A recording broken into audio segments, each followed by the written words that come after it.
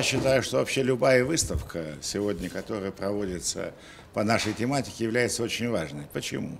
Ну, тут э, целая серия таких э, причин или оснований для этого.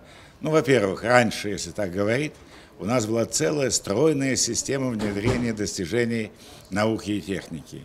Начиная от Госкомитета по науке и технике ГНТ, который имел целую серию программ научно-технических и целый ряд других проблем. В каждом министерстве было специальное подразделение, так называемое научно-техническое или управление, или главное управление, или департамент. И кроме того, вы знаете, я вот сейчас вспоминаю себя, когда работал на производстве, самые большие премии нам были за внедрение новой техники. Сегодня этого, к сожалению, ничего нет.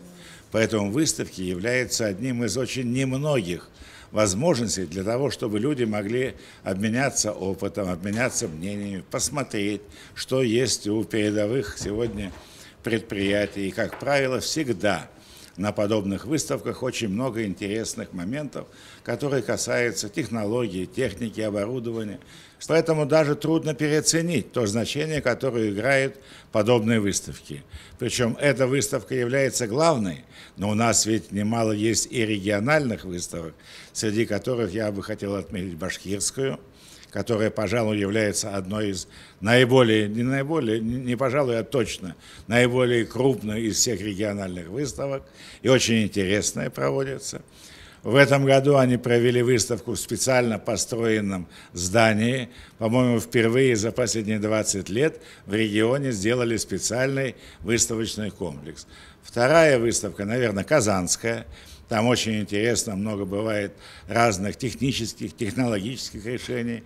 Выставка в Тюмени, в Сургуте, выставка в Саратове бывает еще, в Куйбышеве, в Самаре теперь, сразу не поймешь. То есть, в принципе, достаточно много э, выставок нефтегазовой тематики, и это правильно, это нужно. Даже в таком, казалось бы, экзотическом месте, как Новый Уренгой, и то бывают иногда выставки, которые посвящены проблемам газа. Поэтому я уже об этом много раз говорил и на официальных, и неофициальных мероприятиях, что выставка «Нефть и газ», которая проводится здесь, играет огромную роль в жизни и деятельности всего нашего нефтегазового сообщества. Я считаю, что и в прошлом году, и в этом все же очень много натурных образцов. Это очень здорово и хорошо. Почему? Потому что народ нас, наш привык пощупать, а не просто посмотреть э, те материалы, которые бывают там в виде каких-то экспонатов даже, или в виде брошюрок и так далее, и так далее. Поэтому я вот посмотрел, и как раз то, что очень здорово использована открытая площадь. Э, это правильно и хорошо, и здесь главное есть возможности для этого. Это раз. Во-вторых, э, ну вот я посмотрел, конечно, тут выставку нужно неделю ходить, чтобы все внимательно посмотреть, но тем не менее, конечно, во-первых, много новых компаний, которые в прошлом году еще не было. Во-вторых, достаточно много действительно очень интересных образцов. Ну и направленность, может быть, того, что соседи рядом, тут проходит выставка по электроэнергии, по-моему, или что-то такое похожее. Но, во всяком случае, достаточно большой упор сделан на вопросы энергосбережения, энергоэффективности. Это очень правильно и хорошо, потому что энергосбережение – это не просто лампочки использовать, но главное – это технологии новые, которые нужно внедрять и которые действительно могут решить проблемы многие. Ну, в качестве иллюстрации. Мы вот сейчас вспоминали о том, что еще ну, 20 с лишним лет назад мы как-то были вместе с Виктором Степановичем Черномырдиным.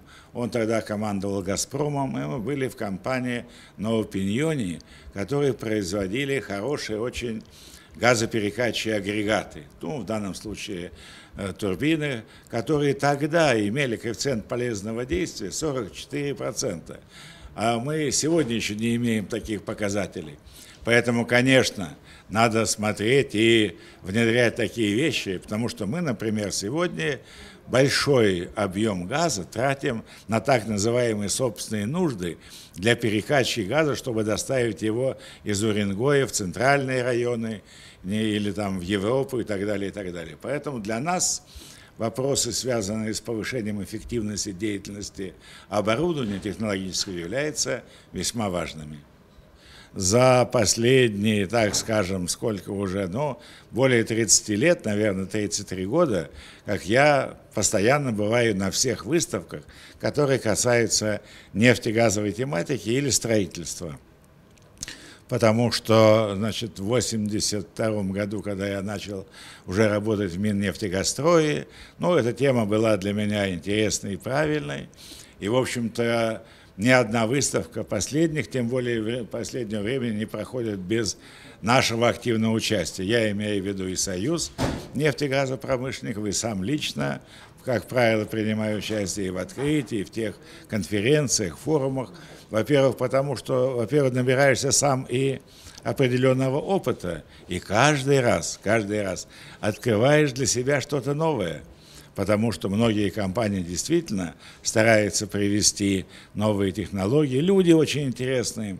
Вы знаете, всегда очень интересно общаться с профессионалами, неважно в каком он деле – или он там повар-профессионал, или, значит, там плотник-профессионал, всегда интересно. А здесь других же нет.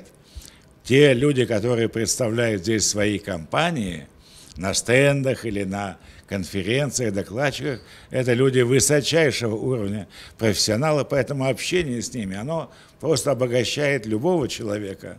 А для тех людей, которые хотят что-то познать, то, наверное, трудно найти более интересный источник пополнения знаний, чем подобные выставки. Поэтому я прежде всего хочу от души поздравить весь коллектив, большой, огромный. Причем, вы знаете, вот здесь тоже то, что я заметил. Конечно, люди меняются, но Э, практически нет людей равнодушных. Те люди, которые здесь работают, они любят это дело, любят э, людей, которые приходят на выставку, очень являются гостеприимными. И это, конечно, позволяет сделать так, чтобы посещение выставки для каждого человека было настоящим праздником.